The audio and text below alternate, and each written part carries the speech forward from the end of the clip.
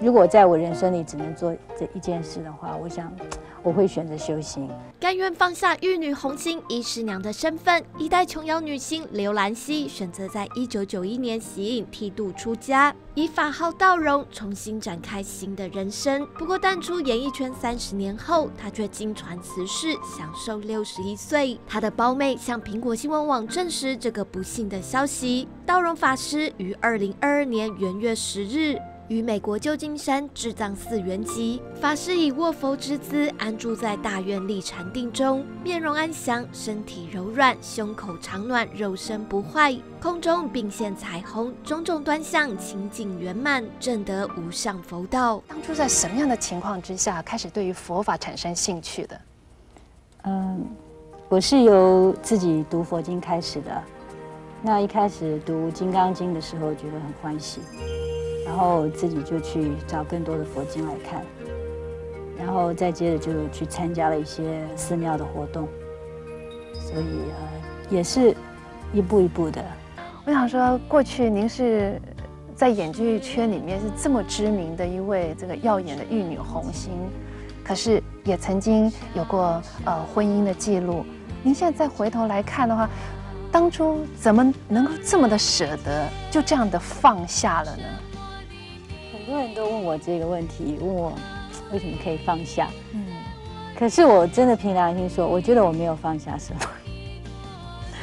我觉得我好像出家后得到更多。其实我以前完全没有考虑过出家。我觉得学佛，以前学佛就是啊，觉得就是拜拜啊，好像布施啊，然后去赶赶庙会啊，是这种阶段的。那。后来慢慢想到出家的问题，一想到心里就会觉得也是蛮害怕的，不是蛮害怕，就是蛮难舍，所以我就不想他。一直到后来，大概学佛的时间比较久了，而且我觉得说，呃，修行真的是生命中蛮重要的一件事。如果在我人生里只能做这一件事的话，我想我会选择修行。当然，我也是曾经有过婚姻的，那我很感谢，就是我以前的同修，他他他真的是非常的。怎么讲？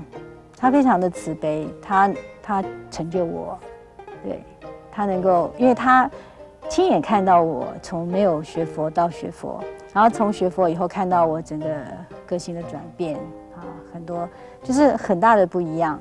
到最后，他也觉得说，如果你真的那么喜欢出家的话，他我愿意成全成全你。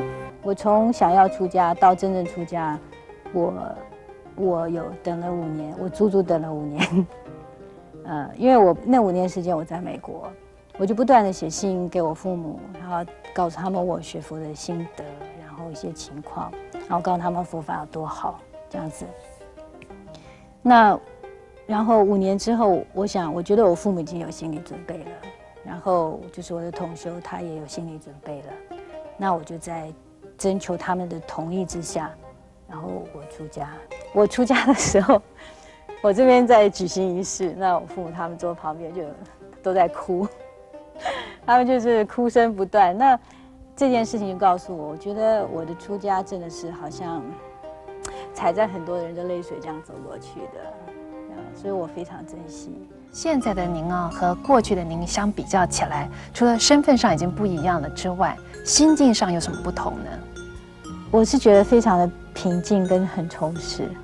道荣法师后来返台带领信徒禅修。苹果走访以他为法人登记代表的办公室，发现大门深锁，按了电铃也没人回应。附近居民表示，从未见过禅修中心有任何活动，更长达半年多没有见到道荣法师的坐车出现。娱乐动新闻报道。